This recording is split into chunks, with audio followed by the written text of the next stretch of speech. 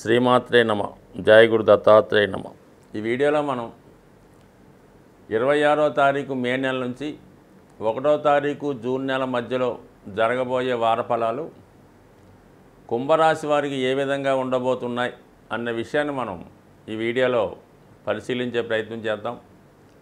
మరి ఈ వార ప్రారంభంలో కుంభరాశి వారికి ఒక మంచి మిత్రుని సహకారంతో నూతన పథకాలు అంటే ఏదన్నా మీ యొక్క వ్యాపార అభివృద్ధికి వృత్తిపరమైన ఇంప్రూవ్మెంట్కి కొత్త ఆలోచనలతో ముందుకు వెళ్ళే అవకాశం ఉన్నది.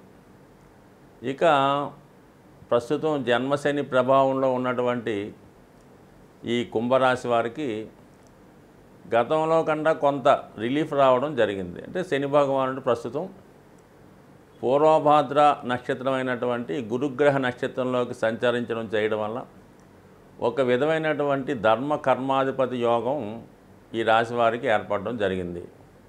సో ఈ కారణం వల్ల ఉద్యోగపరమైనటువంటి అభివృద్ధి వచ్చే అవకాశం ఉన్నది. కొత్తగా ఉద్యోగం ప్రారంభించే వాళ్ళకి ఉపాధి అవకాశాలు లభిస్తాయి. వృత్తిలో చాలా ప్రావీణ్యం సంపాదించే అవకాశం ఉంది.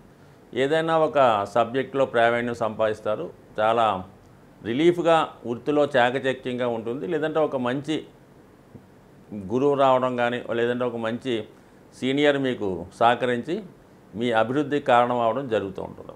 అయితే చాలా వరకు కుటుంబ సంబంధించిన విషయాల్లో మాత్రం ఈ వారం కూడా చాలా జాగ్రత్తగా వ్యవహరించాలి.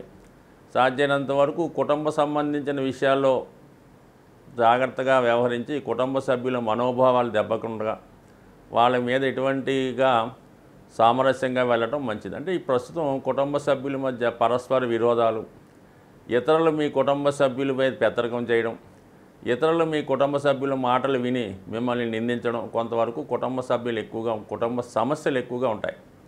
సో ఇది వారం చివరి వరకు ఉంటుంది. దాని తర్వాత చాలా వరకు కుటుంబ విషయాల నుంచి బయటపడతారు.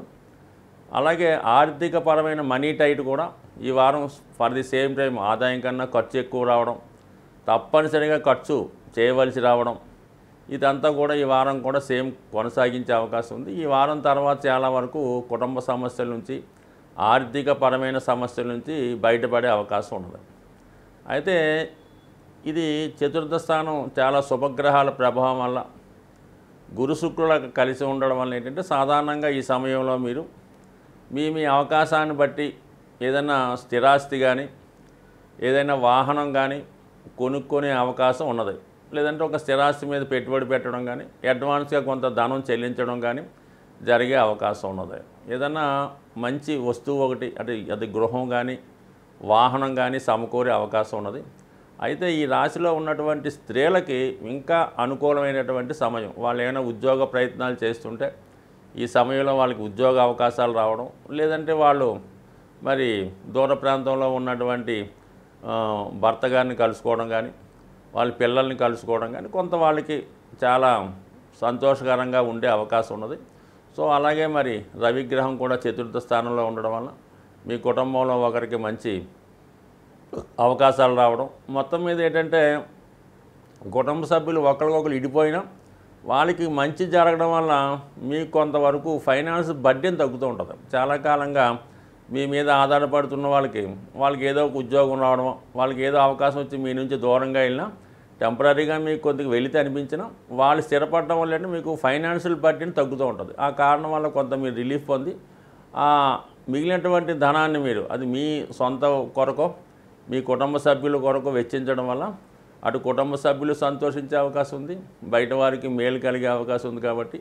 సో ఏదైనా కొంత ఒక బంధాన్ని కొంతకాలం మాత్రమే మీరు పట్టుకోవాలి తప్ప జీవితాంతం వాళ్ళే మనకు కావాలనుకుంటే మాత్రం అది కష్టం అవుతుంది కాబట్టి మరి పోయే వాటిని పోనివ్వటం వచ్చిన వాటిని జాగ్రత్త చేసుకుంటే మంచిది. శ్రీమాత్రైనమ ఈ వారంలో అన్ని రాశుల వారికి ఏ ఏ రాశి వారైనా ఏ ఇబ్బందుల్లో ఉన్నా వాళ్ళు తొందరగా ఆ సమస్యల నుంచి బయటపడే విధంగా మరి ఈ వార ప్రారంభంలోనే మీకు సంకటహర చతుర్థి రావడం జరిగింది.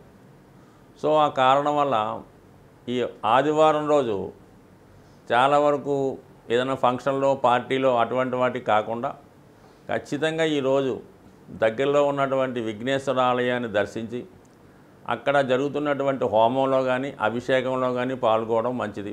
సాధ్యమైనంత వరకు విఘ్నేశ్వరుడి అష్టోత్తరం లేదా సంకష్టహర చతుర్థి సంబంధించినటువంటి విషయాలు తెలుసుకోవడం వల్ల జాతకుడికి ఈ కష్టాల నుంచి బయటపడడం. అయితే విఘ్నేశ్వరుని పూజించడం వలన ప్రారంభించిన పనులు నిర్విఘ్నంగా సాగుతుంటాయి కాబట్టి ఖచ్చితంగా మరి ఈ వారం మొదటి రోజు వచ్చే ఈ విఘ్నేశ్వరుడు సంబంధించినటువంటి పూజలో పాల్గొనడం వల్ల కంపల్సరిగా ఈ ప్రభావం మీకు ఈ నెలంతా చాలా శుభంగా ఉండే అవకాశం ఉంది. సో అలాగే ఎవరైతే విజయాన్ని కోరుకుంటున్నారో అలాగే ఈ విద్యార్థులు ముఖ్యంగా కాలేజీలో ఉన్నత సీటు కొరకు కాంపిటేటివ్ ఎగ్జామ్లో విజయం కొరకు ఆశిస్తున్నారో వాళ్ళు ఈ జూన్ ఒకటవ తారీఖున వచ్చినటువంటి హనుమత్ జయంతి రోజు ఖచ్చితంగా మరి హనుమాన్ టెంపుల్ దర్శించడం. ఆ రోజు స్వామిని సింధూరంతో కానీ తమలపాకులతో కానీ పూజ చేయడం వల్ల కంపల్సరీగా మీ యొక్క విజయం లభించే అవకాశం ఉంది. అది వీల్లేని వారు ఇంటి దగ్గరే శుభ్రంగా తలస్నానం చేసి మరి హనుమాన్ని విధి విధానంగా మీ తోచిన విధంగా పూజ చేసుకొని హనుమాన్ చాలీసా పారాయణ వల్ల కంపల్సరీగా మీకు విజయం లభించే అవకాశం ఉంది కాబట్టి మరి ఏదైనా ఈ జ్యోతిష్యాన్ని గ్రహాల్ని గ్రహాల గమ్యాన్ని నమ్ముతున్న వారు అతి రేరుగా వచ్చే కొన్ని ఇలాంటి పండగలు పాటించడం వల్ల అలాగే ప్రతి నెల వస్తున్నటువంటి మాస శివరాత్రి అలాగే ఏకాదశులు ఈ సంకష్టాల చతుర్థి లాంటివి పాటించడం వల్ల జాతకుల మీద గ్రహాల యొక్క ప్రభావం తగ్గి భగవంతుని యొక్క అనుగ్రహంతో అన్ని కార్యక్రమాలు చాలా సజావుగా సాగుతుంటాయి. అసలు మీకు జాతకాలు ఈ జ్యోతిష్యం ఈ వారఫలాలు మాసఫలాలతో పని లేకుండా ప్రతి పని కూడా విజయవంతంగా వెళ్ళాలంటే మీరు కంపల్సరిగా ఆ పర్వదినాల్లో ఆ నెలలో వచ్చే పండగలు ఎంతో కొంత మీరు చేసుకోవడం వల్ల ఖచ్చితంగా మీ యొక్క లైఫ్ సజావుగా హ్యాపీగా సాగే అవకాశం ఉంటుంది స్వస్తి.